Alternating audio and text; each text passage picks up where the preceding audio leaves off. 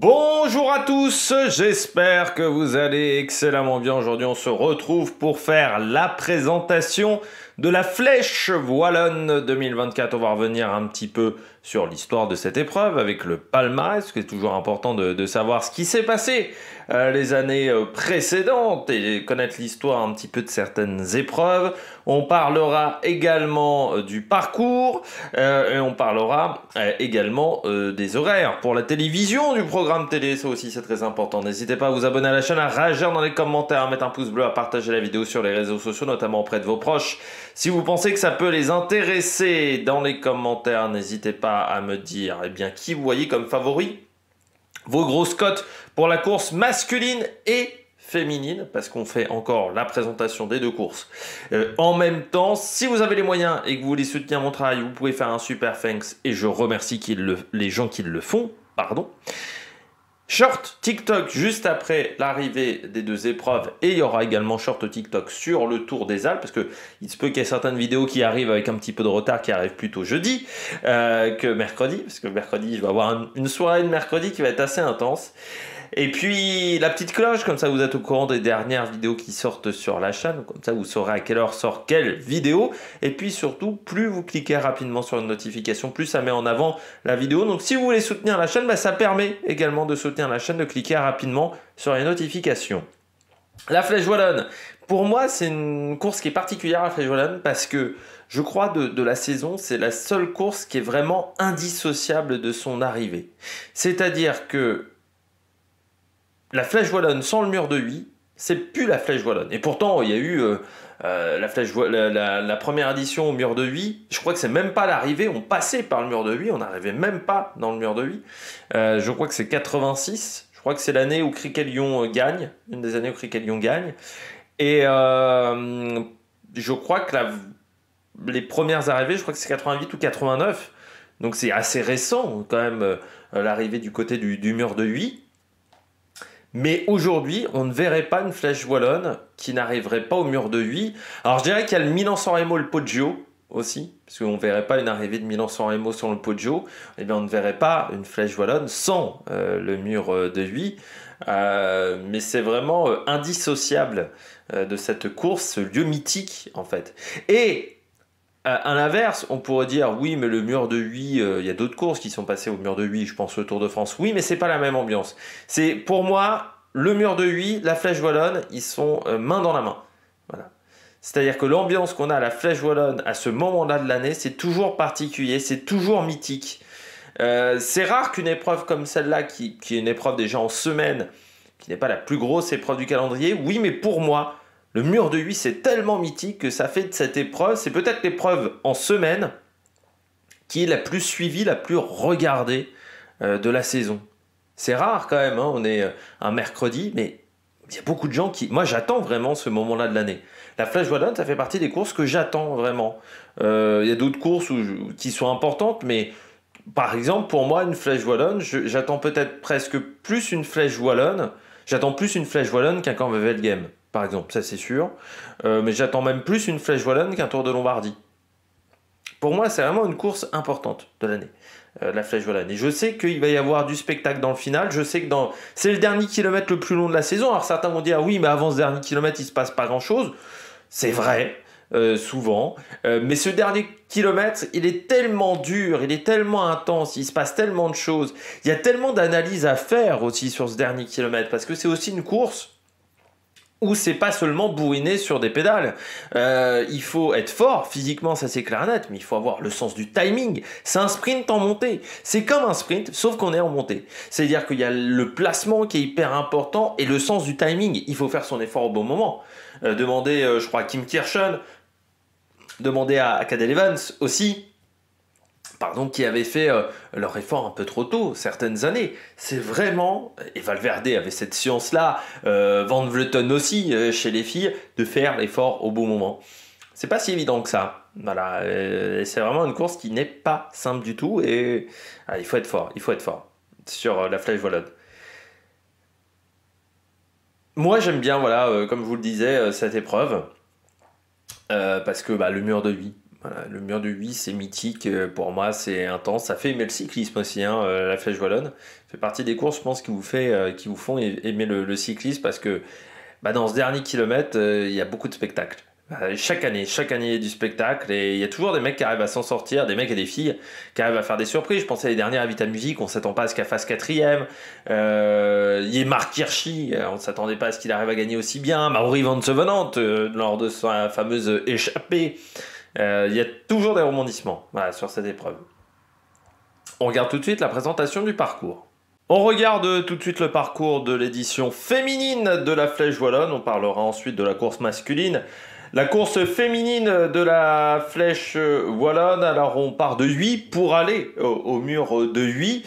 Euh, malgré tout, on ne fait pas que le circuit autour hein, de mur de 8. C'est peut-être même un parcours un peu plus euh, varié euh, que la course masculine, parce que c'est vrai qu'on ne se contente pas seulement de la côte d'Eref et du mur de 8. On aura en début de journée la côte de Gives, 2 km à 5,6%, puis 30 km après euh, à peu près la côte de Courrières, 1 km 4 à 8,12 de moyenne, puis la côte d'Evrehaille, 2 km 4 à 5,2 de moyenne, avant d'arriver à Pont de Beaune pour entrer sur le circuit. Deux tours euh, de circuit du côté du, mur de 8. Donc ce qui apporte un peu de variété, c'est vrai qu'on peut considérer que la course masculine cette année, c'est euh, côte des refs, mur de 8. Alors que moi je me souviens qu'auparavant, il y avait je crois une côte avant le mur de 8. On a eu des éditions, il y avait une petite bosse qui a dû disparaître euh, du parcours. Parce que je me souviens d'une bosse où il y avait un, une ligne de... Je sais plus si on traversait pas une ligne de chemin de fer. Euh, si certains se souviennent euh, du parcours du mur de Huy à ce moment-là, qui je trouvais faisait un peu de, de ménage cette côte-là avant le, mur de Huy, ce qui ne sera pas le cas cette année, donc avec l'enchaînement Côte des Refs euh, mur de 8. Donc le mur de 8, on regarde un petit peu la, description. Donc c'est marqué 1 km 3 9,5%. En fait, c'est surtout à partir du kilomètre à partir de la flamme rouge, où ça va devenir très compliqué. Hein. Avant, c'est un faux plat. C'est-à-dire que le 1 km 3, ça doit être à partir du virage euh, sur la droite. Euh, on, est le long de... C'est de la Meuse, je crois, à cet endroit-là. On va partir un petit peu sur la droite. Euh, et c'est là où commence euh, pour euh, là l'organisateur la côte, mais en fait pour moi la côte a commencé à la flamme rouge.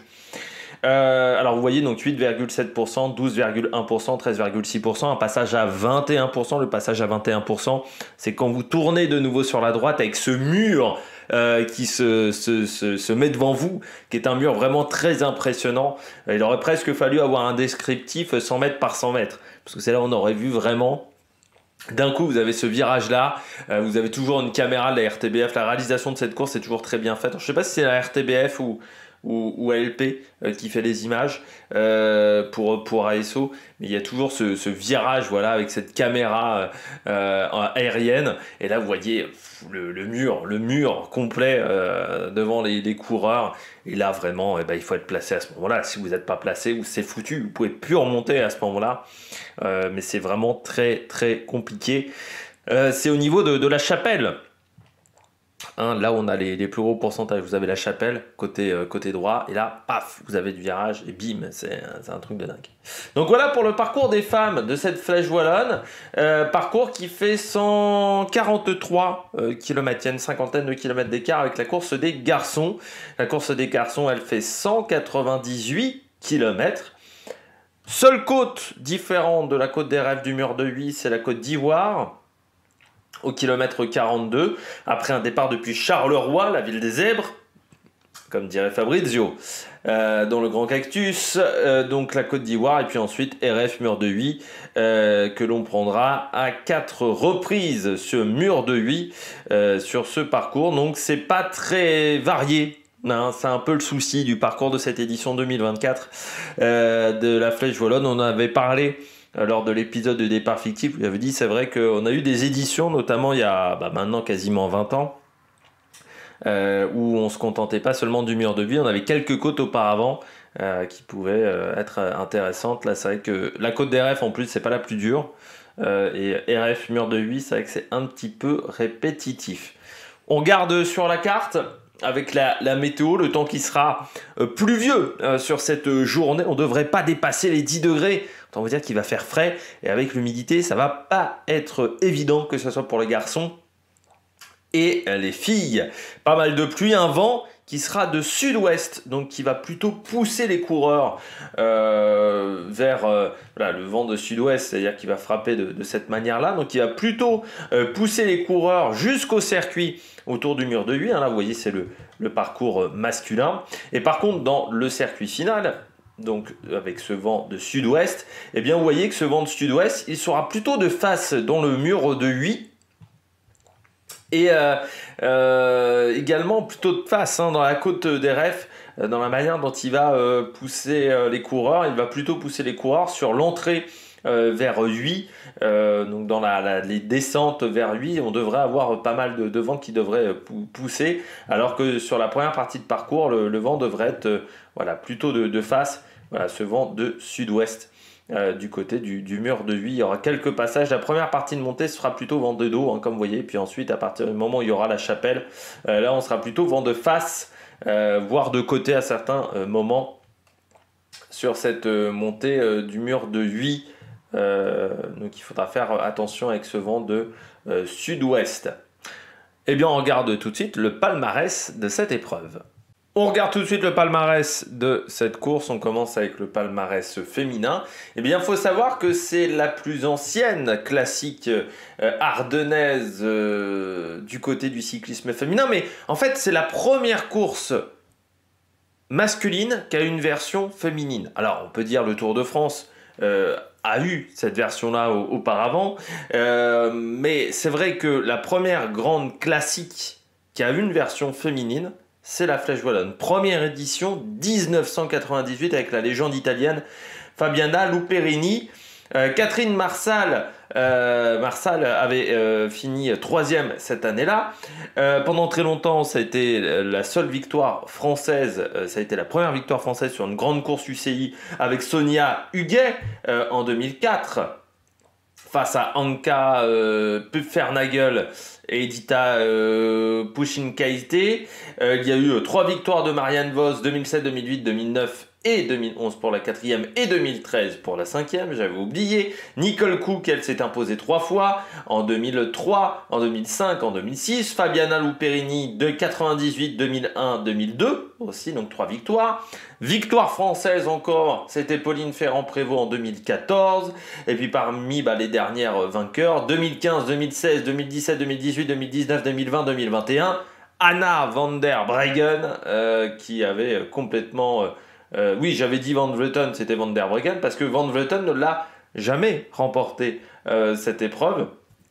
J'avais confondu les deux, euh, Van der Breggen et, Van Vleuten. mais voilà, il y a eu cette domination de, Van der Breggen. Et puis Martha Cavalli, en 2022, qui s'était imposée devant Van Vleuten et Demi Vollering. Et puis l'année dernière, Demi Vollering qui avait battu Lial Nippert et Gaia Realini, euh, la jeune coureuse italienne. Du côté des garçons, alors l'épreuve est, plus ancienne, première édition en 1936, vainqueur Philémon de, de euh, devant Alphonse Veniers et Camille Mikkelsen. Course qui aura lieu pendant la guerre, notamment avec des victoires de Marcel Kint en 43, euh, 44 et 45. c'est une course qui n'a pas eu d'interruption. Euh, pendant euh, la Seconde Guerre euh, mondiale. Dans les années 50, on a la victoire de Faustocopie, Ferdi Kubler en 51 et 52, le Suisse, et puis ensuite pas mal de victoires belges. Raymond Impanis en 57, Rick van Sterbengen, Steenbergen pardon, en 58. Raymond Polidor s'impose en 62-3 devant Jan Janssen. Euh, parmi les vainqueurs français, on a euh, Gilles Desmet en 64, Eddy Merckx, c'est l'une des premières grosses victoires même de Eddy Merckx en 67 euh, face à Peter Post cette année-là. On a Rick Van Looy qui s'impose en 68, de nouveau Eddy Merckx en 70, en 72 pour cette épreuve. Job Zotemelk en 76, Francesco Moser en 77, Michel Laurent en 78, qui était un coureur qui je crois était dans l'équipe Renault euh, à cette époque-là. Je vais vérifier, Michel Laurent. non, il était chez Peugeot, pardon, j'ai dit une petite bêtise, il n'est jamais allé chez Renault même. Michel Laurent, qui est un coureur qui était très prometteur dans ses premières années, puis qui avait un petit peu plafonné euh, ensuite. L'année d'après, c'était Bernard Hinault qui s'imposait. Bernard Hinault qui euh, récidivera en 1983. Euh, on a Kim Anderson en 84, une belle chaudière, Kim Anderson. regardez un petit peu l'histoire de ce cours-là, vous allez vous marrer.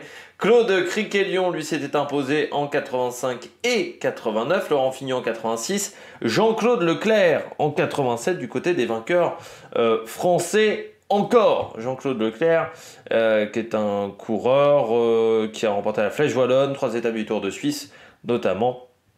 Deux fois deuxième également de la Flèche Wallonne, euh, coureur français qui était Picard. Voilà. Vous voulez avoir des informations supplémentaires pour Jean-Claude Leclerc. On continue avec les différents vainqueurs. Moreno argentin euh, en 90 et 91. On a Laurent Jalabert en 95 et 97. Lance Armstrong en 96, juste avant son cancer. Victoire donc qui est toujours dans le palmarès de Lance Armstrong. Je rappelle euh, que c'est une victoire avant 1998. Bomberger en 99 non 98 s'impose, je vais y arriver. Dernier vainqueur euh, en solitaire, Mario Hart en 2002, ça remonte. Et puis ensuite, on n'a que des vainqueurs qui se sont imposés grâce à un sprint. Euh, du côté euh, du mur de 8, notamment David Erebellin en 2004 quand il remporte les trois classiques ardennaises. Valverde 2006. 2014, 2015, 2016, 2017 du côté des victoires d'Alejandro Valverde, Kim Kirchen, comme je disais, en 2008 face à Cadel Evans, Cadel Evans qui gagnera en 2010, Philippe Gilbert en 2011 face à Joaquim Rodriguez, Joaquim Rodriguez qui arrivera enfin à s'imposer en 2012, Daniel Moreno en 2013, euh, qui était à l'époque chez Katusha, je crois me rappeler Moreno en 2013, oui, j'avais bien, euh, j'avais bien, j'étais bon de ce côté-là. Euh, Julien Lafilippe en 2018, 2019 et 2021. Marc Hirschi, on se souvient tous en 2020, devant Cosnefroy et Michael Woods. Dylan Teuns en 2022 face à Valverde et Vlasov. Et puis Tadej Pogacar en 2023 face à Skiel Mose et Mikel Landa cette année-là. On regarde euh, tout de suite euh, les équipes qui vont être au départ sur cette épreuve. On va commencer avec l'équipe euh, féminine sur cette édition euh, de la Flèche Wallonne, 27e édition de la Flèche Wallonne chez les filles. Du côté de la SD Works, on aura Demi Vollering avec Misha Bredewald ou Elena Cecchini. Du côté de la Movistar, on aura Paola Patigno avec Yelena Eric notamment, et Claire Stills dans cette équipe. La Lidl Trek avec Gaïa Realigny, Eleonore Backstedt ou encore Shirin Van Oyroy. Du côté de la Live Alula, on aura Mavi Garcia, Alexandra Menli du côté de la FDJ Suez, Los Ardegues, Marta Cavalli et Evita Music du côté d'Ingen Suran Soudal, Ashley Moonman ou Julie Van de Velde. Du côté de la UAE, on aura Erika Magnaldi ou encore Sofia Bertizzolo. Du côté de la Canyon SRAM, Nevia Doma, Elie Chabet ou encore Ricarda Bauernfein. Du côté de la Phoenix de Coninck, Yara Castelline.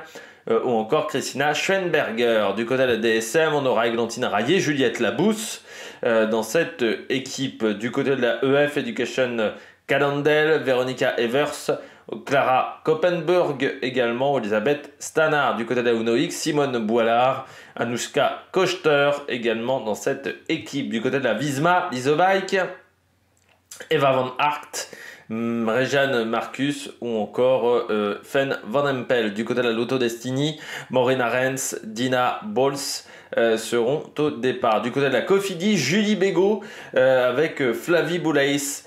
également dans cette équipe et Morgane Coston. Du côté de la Roland, eh bien la championne olympique Anna Kisenhofer avec Christophe Roux, notamment dans cette équipe. Du côté de la Volker Wessel, on aura Marike Mert, euh, ou encore Eileen Jensen du côté de la Human Powered Earth. On aura Ruft euh, Edwards, pardon, Henrietta Christie ou encore Katia Ragusa du côté de la Saint-Michel Mavic Aubert 93. Manon Brunel, Victor Gunman euh, ou encore Dixline Miermont. Vous savez, c'est mon prénom préféré. Du côté de la Chevalmer, parce que je n'arrive jamais à le prononcer correctement. Du côté de la Chevalmer, on aura Anna Nilsson et Danique Bram. Du côté de la Team Coupe, Repsol, India Granger euh, sera au départ la française. Du côté de la Laboral Kucha euh, Foundation Euskadi, Anne Santesteban sera là, ancienne de la Live. Enfin, de la Jaiko Alula, mais qui est devenue la Live notamment. Du côté de Arkea, on aura Michaela Drummond euh, avec euh, Lotte Klaes, euh, notamment dans cette équipe. Et puis la Beeping viendra avec Andrea Casagranda ou encore Angela Oro. Du côté des garçons, pour cette épreuve, pour cette édition 2024, eh bien, on aura la UAE qui sera au départ avec Mark Hirschi ou encore Juan Ayuso.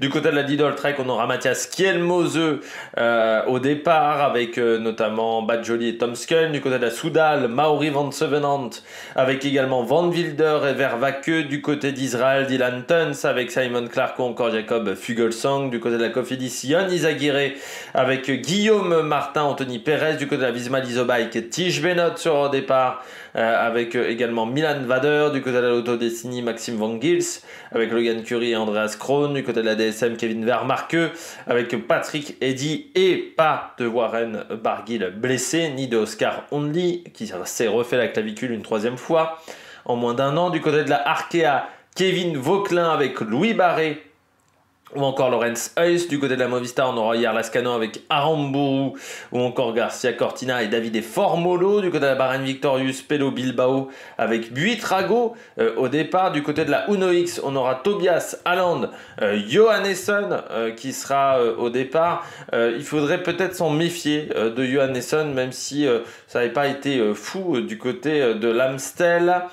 Euh, il y aura également Andreas Leknessun et Anders Karset. Du côté de la Ineos, Thomas Pitcock qui vient de remporter l'Amstel Gold Race avec euh, euh, Ethan Hayter ou encore Brandon Riviera et Katkowski. Du côté de la Alpecin, Axel Laurent, Skinten Hermans et Krag. Pardon, Anderson du côté de la EF Education Easy Post. Richard Carapaz avec Ben Eli dans cette formation, pas Nelson Poles.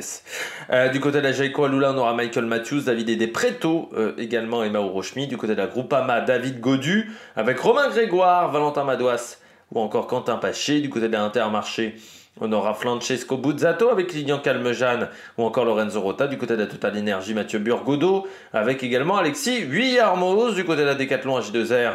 On aura Benoît Cosnefroy, euh, Dorian Godon, Bruno Armirail ou encore Paul Lapera du côté de la Astana, Simone Valasco Battistella euh, ou encore Fedorov du côté de la Bora, Hans Grohe, Vlasov ou encore Roger euh, Adria très en vue sur l'Amstel Gold Race avec U36.5 avec Brandbilla et puis avec également euh, Calzoni, du côté de la Bingo, on aura Floris de Tir ou Giacomo Villa avec Loïc Fliegen. Et puis du côté de la Euskata, la Euskadi, Godson Martin ou encore Victor de la Partie avec James Fouché dans cette euh, formation. On regarde tout de suite euh, les euh, favoris. Je rappelle, mes favoris, je rappelle que nous sommes le 16 avril, il est 17h34. Donc il peut y avoir encore des modifications par rapport à la liste de départ. Du côté des femmes, je mets Gaïa Realini. Pour moi, là, le, physique presque parfait pour cette épreuve. C'est-à-dire c'est un tout petit gabarit, hein, je rappelle 1m50, 40 kg, euh, mais c'est une boule de, nerfs. Euh, on va dire Gaïa Aligny, elle est capable vraiment de, mettre pas mal euh, de filles en difficulté. Et moi, j'ai bien envie de voir ce que ça va donner avec une année d'expérience sur cette montée. J'ai mis également Demi Voloring. Bah, même si son début de saison a été extrêmement discret, Demi Voloring, il faut quand même faire attention. L'année dernière, elle avait gagné les trois grosses classiques.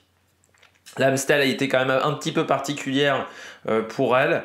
Euh, elle a beaucoup bossé euh, pour V-Buzz, donc peut-être qu'elle aura envie vraiment de, jouer sa carte, surtout que là, chez SD-Works, c'est un petit peu la, seule possibilité, je pense, pour cette épreuve. Ashley Moulman, du côté de Jane Surance, toujours présente sur cette arrivée. Ashley Moulman, quand elle était équipière, notamment de demi-vollering, elle était toujours très présente. Donc c'est une fille qui aime ce type d'arrivée. Et puis je mets Evita Music, quatrième l'année dernière.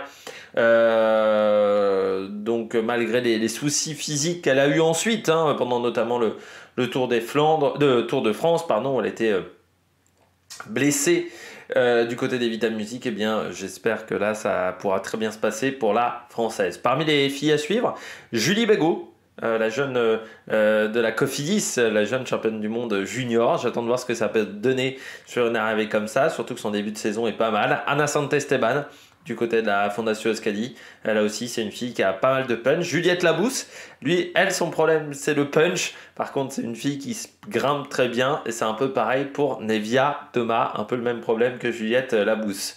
Du côté des favoris hommes, eh bien, j'ai mis Marc Hirschi. Moi, il m'a impressionné euh, sur l'Amstel. Je l'ai trouvé très costaud.